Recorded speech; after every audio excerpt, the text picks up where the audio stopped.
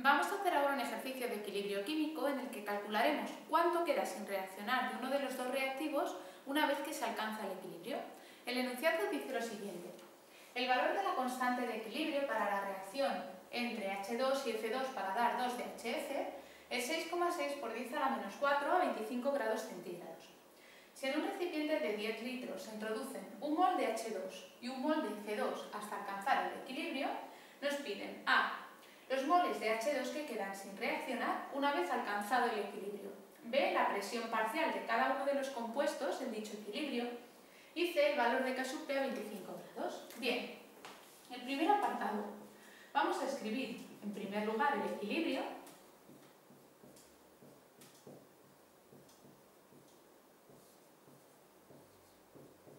Y ahora vamos a escribir qué cantidad tenemos inicial.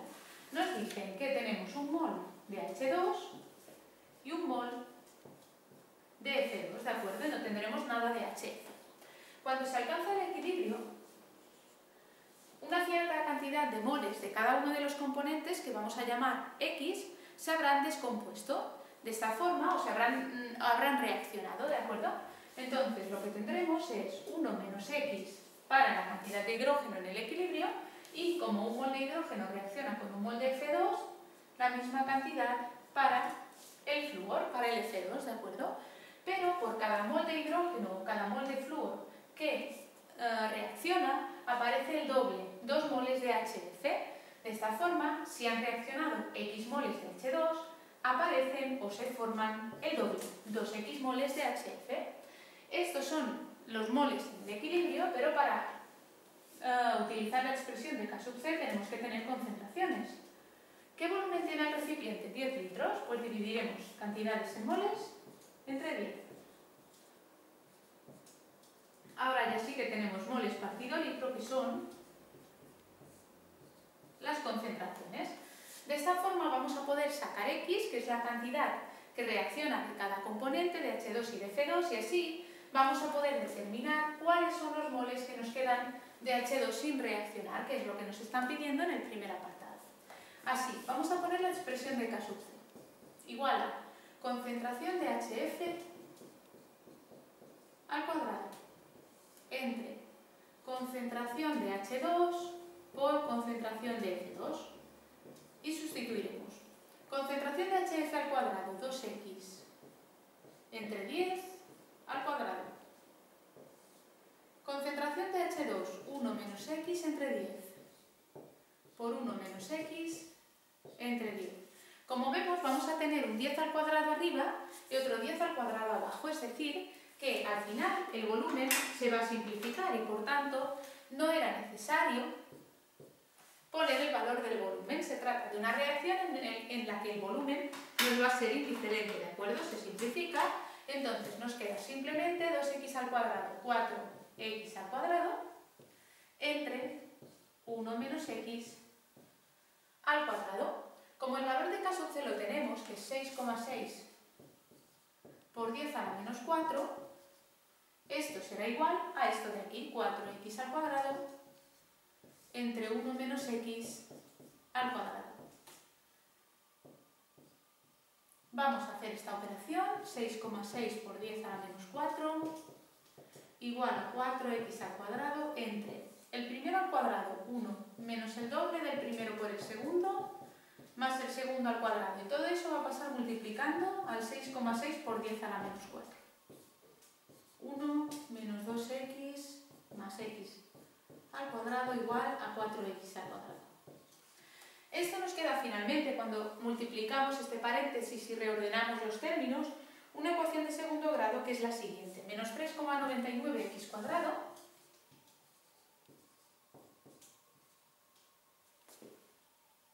menos 1,32 por 10 a la menos 3x y el término independiente es más 6,6 por 10 a la menos 4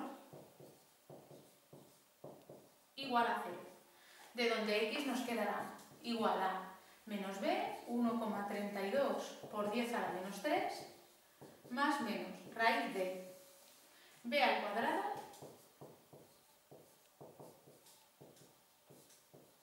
menos 4 por A, que es menos 3,99, y por C, 6,6 por 10 a la menos 4, partido todo esto 2 por A, es decir, 2 por menos 3,99. Bueno, finalmente esto nos da un valor de x, nos dan dos valores de x distintos, pero el único válido es el siguiente, es 0,0127. Y estos son los moles que han reaccionado de cualquiera de las dos especies, de H2 y de F2, ¿de acuerdo? Entonces, eso es lo que tenemos que ha reaccionado, pero como lo que nos están pidiendo es lo que queda sin reaccionar, tenemos que hacer moles de hidrógeno que, no, que quedan sin reaccionar 1 menos x, es decir, 1 menos 0,0127 y nos da un valor de 0,9873.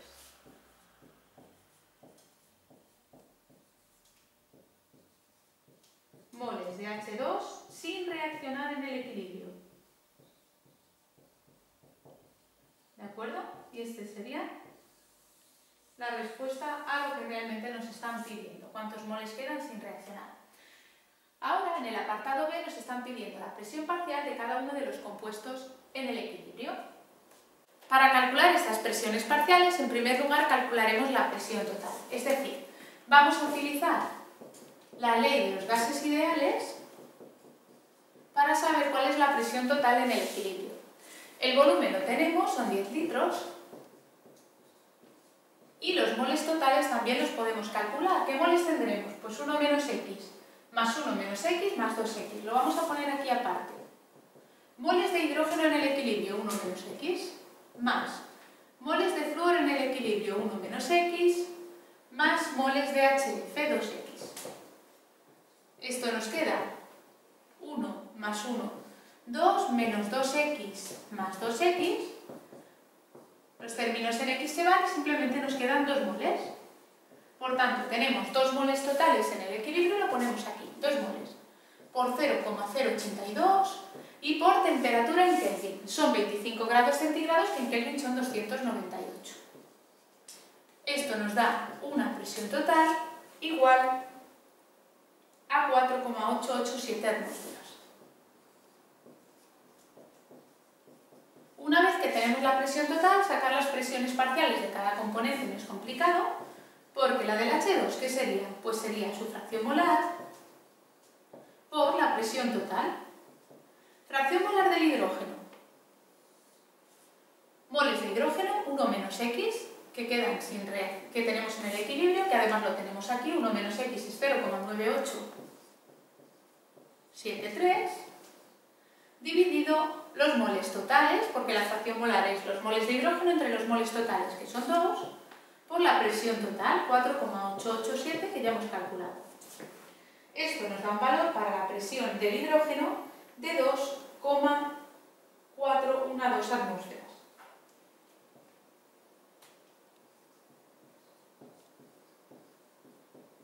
Pero esta presión será exactamente la misma que la de F2. ¿Por qué? porque tenemos el mismo número de moles. Al tener el mismo número de moles, las fracciones molares también van a coincidir, tendremos 0,9873 partido 2 por esta presión y por tanto la presión del F2 ha de ser igual a la presión del H2 que es igual a 2,412 atmósferas. Y ahora podemos calcular la presión parcial del HF, del HF o también de este modo o simplemente lo que podemos hacer es calcularla restando de la presión total presión total es igual a presión de H2 más presión de C2 más presión de HF, ¿verdad? Que sería la suma de las presiones parciales de todos los gases. Como este valor lo tenemos, 4,887 menos la presión del hidrógeno, 2,412, menos la del flúor, 2,412, nos dará la presión del HF. Y nos sale un valor de presión igual a 0,062 atmósferas. Así ya tendríamos las presiones en el equilibrio de los tres componentes, que es lo que nos estaban pidiendo en este apartado B, ¿de acuerdo? Y por último vamos a hacer el apartado C en el que nos piden el valor de K sub P y lo vamos a calcular utilizando la fórmula que conocemos, que hemos visto en otros ejercicios. El valor de K sub P de una reacción es igual a K sub C por RT elevado a delta de N, ¿de acuerdo? Vamos a ver delta de N para esta reacción. Lo que vamos a tener es lo siguiente, delta de N igual a moles de gas de productos 2 menos moles de gas de reactivos 1 más 1, 2. Por tanto, delta de N para esta reacción vale 0 y como vale 0, eso va a hacer que K sub P y K sub C tengan el mismo valor. Esto es 6,6 por 10 a la menos 4 por RT elevado a 0. Independientemente de lo que valga en RT, como está elevado a 0, cualquier cosa elevado a 0 vale 1. Entonces tenemos que K sub P pues, es simplemente igual a 6,6 por 10 a la menos 4. Esto, que coincida la constante de equilibrio en función de las presiones y en función de las concentraciones, siempre nos va a ocurrir cuando tenemos una reacción en la que el incremento del número de moles es cero, ¿de acuerdo? Entonces, cuando esto nos pase, directamente sabemos que ambas constantes van a tener el mismo valor. Bien, si este vídeo os ha gustado y os ha resultado de utilidad, os podéis suscribir a nuestro canal de YouTube para estar informados de la subida de cualquier nuevo vídeo y también podéis seguirnos en Facebook y en Twitter. Por supuesto, os estaremos esperando en la página web kimitube.com donde vais a encontrar todos los temas organizados. También vais a encontrar curiosidades relacionadas con la química en nuestro blog y material descargable en PDF. Gracias por ver este vídeo.